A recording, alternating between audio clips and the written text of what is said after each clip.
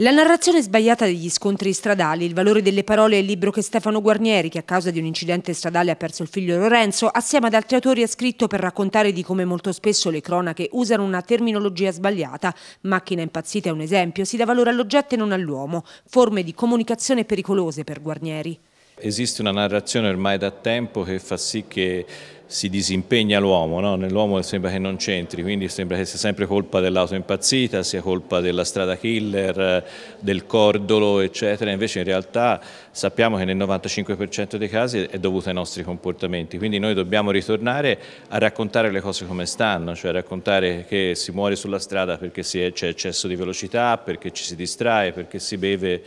e si guida e quindi in qualche modo raccontare quella che è la verità dei fatti con grande rispetto delle vittime. Stefano Guarnieri è vicepresidente dell'associazione Lorenzo Guarnieri, da sempre si batte per temi come l'omicidio stradale assieme anche ad altre associazioni locali come quella di mamma Elina Panepucci che ha perso all'Aquila il suo Giuseppe, anche lui vittima di omicidio stradale. Gli inasprimenti, le norme ci sono, ma non bastano.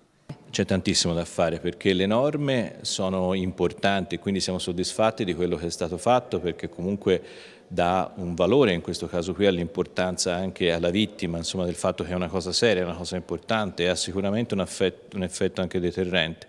Però è un tema complesso che bisogna affrontare attraverso altri mezzi anche, quindi gli inglesi parlano di tre, no? quindi bisogna lavorare sull'educazione, quindi senza dubbio, loro dicono enforcement che vuol dire controlli, cioè quindi bisogna aumentare i controlli e allo stesso tempo bisogna lavorare sulle infrastrutture per proteggerci. Quindi occorre fare tutte queste cose e farle insieme in maniera pianificata, quindi è un tema complesso copiando anche dagli altri, perché se noi copiamo il nord Europa, nel nord Europa muoiono la metà delle persone che muoiono in Italia, in Europa noi siamo alla diciannovesima posizione, quindi dobbiamo veramente migliorare tantissimo e possiamo farlo.